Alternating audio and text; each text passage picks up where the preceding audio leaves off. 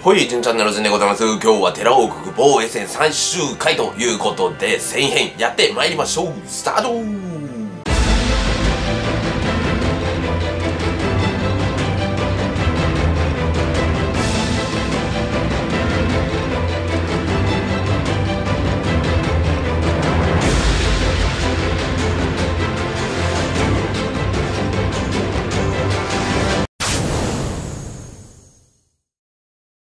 ということでやってまいりました。第4週最終回ですね。セイントローズ編でございます。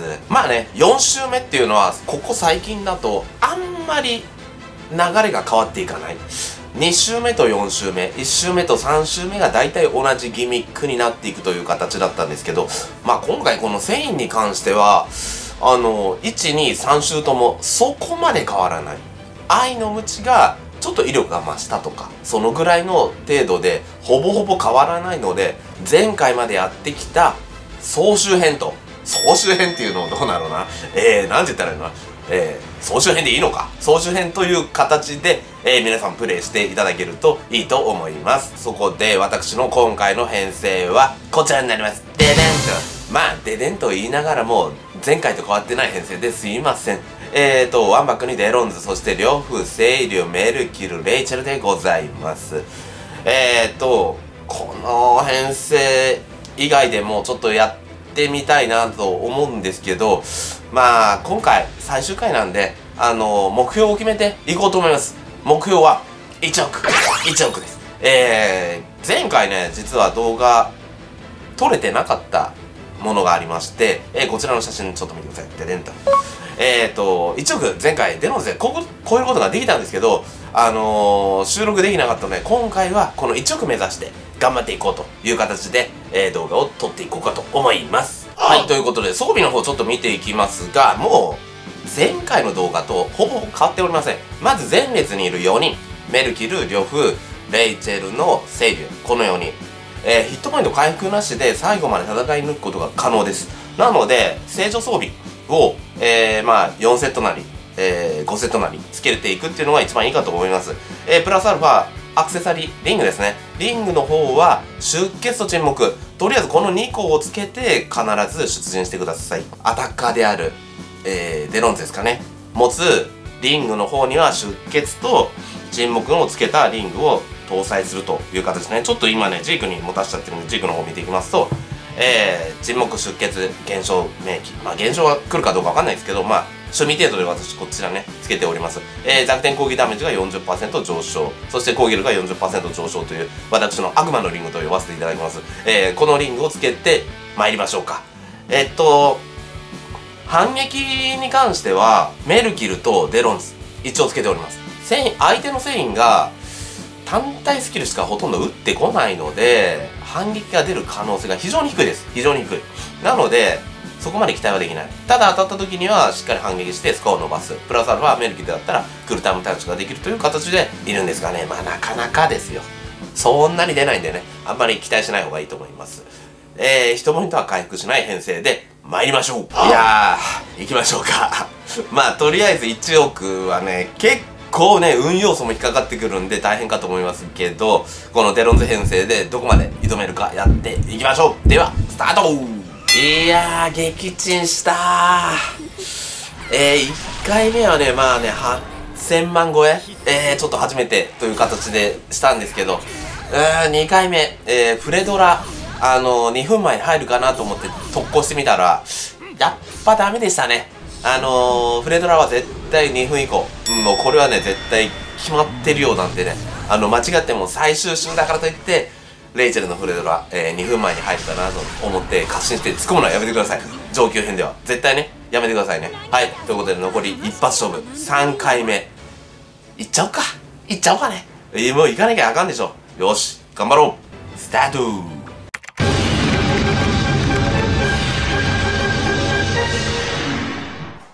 えーと、まずはレイチェルの上打っていきますね。うん。で、間違ってもいけないのは、レイチェルのフレームドライブを打ってはいけない。それだけは絶対ね。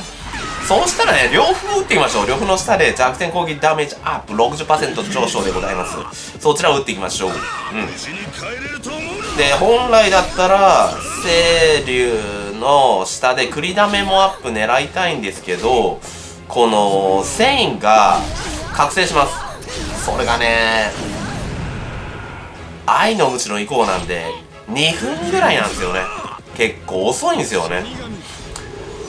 ただその2分にいっちゃう愛いっちゃっても間違ってもフレドラを打たな。いなぜなら繊維はあのここのかけたデバフを全て回復してしまう消してしまうというね覚醒スキルで打ってきますんで、えー、間違ってもまあフレドラは打たないように。うんいきましょうか。一応打っちゃうか。打つのないからね。えーと残り1分ありますね。2分までにはね。で1分半の愛の鞭が打ってくる前に、えー、なるべくだったらねデロンズさんを、えー、覚醒させましょう。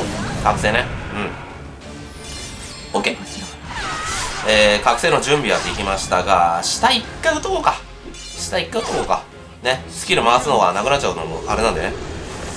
あとはね結構これ運要素的なものもあって下に行くかっていうのもあるんでね今、まあ、愛の鞭ね来たね。えー、3人攻撃ですね。3人攻撃ですね。うん。で変身します。えー、1分40秒ですね。セインがうーん変身してこないね。そろそろ凶暴化してくると思うんだけど。あこれもしかしたら2分超えないと凶暴化してこないか。そういう仕様か。でここから2分超えたのでフレドラが入ってくるとああちくしょ。うまあまあこれ全体攻撃なんでまあいっか。間違ってもね。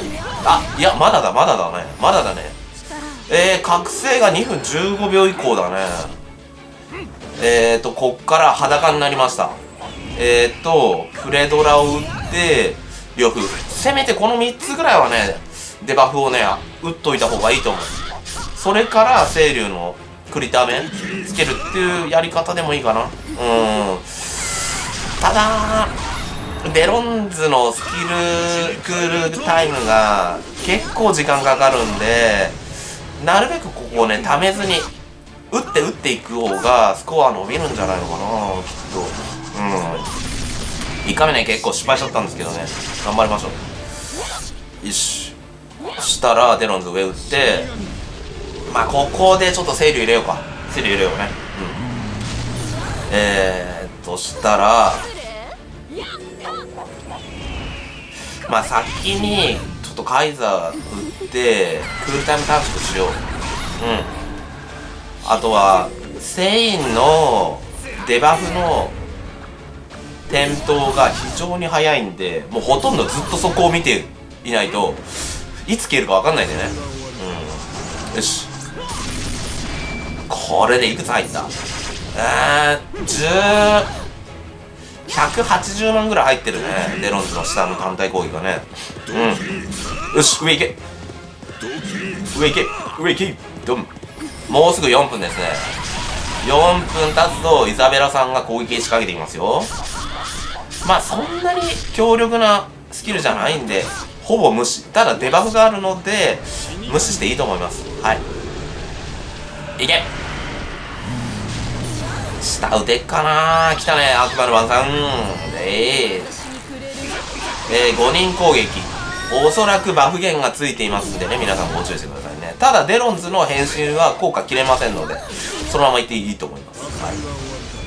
オッケーランブ。おい。いいね。えー、っともう一発撃てたらえー、8000万ぐらい乗るかな。うーん。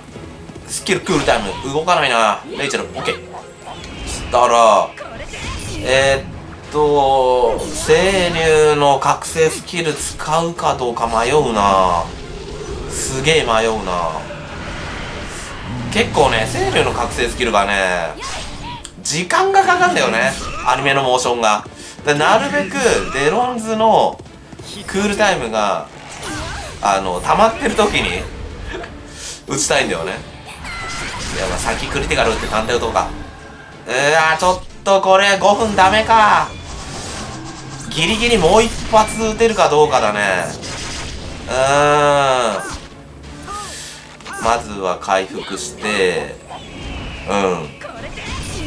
えー、っと上打ってうわ微妙なとこだなこれ。微妙。OK21 秒。いけるね。いけるね。あと下で待機してたらいけるぞこれで1億いけんじゃね？あと15秒ですね。おしこれで一発。あちょっと待った。ちょっと待った。呂布の下のスキル消えた。このタイミングで。しかもフレームも消えてんのかいやーまじゃあそれか。失敗した。ごめんなさい。うわあのタイミングで消えるか。うーん無念。いやー今回申し訳ない。最後の最後でスキル点灯にやられました。バタン。えー、ということで私のマイスコアはえー、いくつだこれ207万点ということになりましたね。ちょっと意気消沈してしまいました。惜しかったねでも。あと一発入れば、えー、1億のところに乗ったんですけどね。はい、えー、まあちょっとそこには届くことができませんでした。えーと、今週で、とりあえず今回、寺尾防衛戦が一旦終了ということにはなっていきますが、えー、まあ次再開されるのって多分、えー、来年ではないかと思います。来年。ね。えー、来年きっと対応してくるのは魔法じゃないかなと思いますまあでも今回やってみて一応アタッカー枠として使ったのがデロンズそしてバネッサとジークですねこの3人ちょっと使ってみたんですけど他にもあのアタッカー枠で使ってみたかったのはねコルト。やっぱねコルトは使ってみたかったな。うーん。なぜならねやっぱりフレドラ関係なく攻撃できるあのバネッサの攻撃に似てますよね。敵4人に攻撃力。それでこっち敵4人に攻撃力160%与えることができる。まああとちょっと僕まだコルトねあのスキル解放とかしてないんでレベル50には行ってるんですけどあの専用武器もね解放してない状況だったんであのちょっとね今回使わずにデロンズで行ってみましたがえっ、ー、とこちらの方もね今度頭に入れてあのいつか寺尾防衛戦で使ってみたいと思います。次回から魔法ですね。僕魔法はねちょっとねあのもりもりのあのリングを用意することができないのでまああまりにも高スコア出すことはできませんがまあ攻略動画としてはちょっとね一応手をつけて頑張っていきたいと思いますんでねもしその時来年かな？来年ぐらいになるんじゃないかね？きっとね寺尾防衛戦再開するのもねえー、もしよかったらよろしくお願いいたしますまた来週からや始まるっていうことはないよね。ちょっとわかんないですけどね。はい。えー、皆様ね、あの、今回、今までやってきたの、総決算。あ、総集編じゃない。総決算ですね。総決算。総決算という形で、皆さん、ぜひとも、寺尾国防衛戦、やってみてください。少しでもね、スコアを伸ばせるように頑張ってみてください。私みたいに、あの、フレームドライブを、2分前にまだ入るかという検証みたいなね、ツッコミはね、もうやめた方がいいと思います。あの、2分以降です。状況でやるんだからもう必ず2分超えてから打ち込んでみてくださいということです。えー、ということでもしよかったらグッチャチャンネル登録していってください。では皆さんバイバイありがとうございました。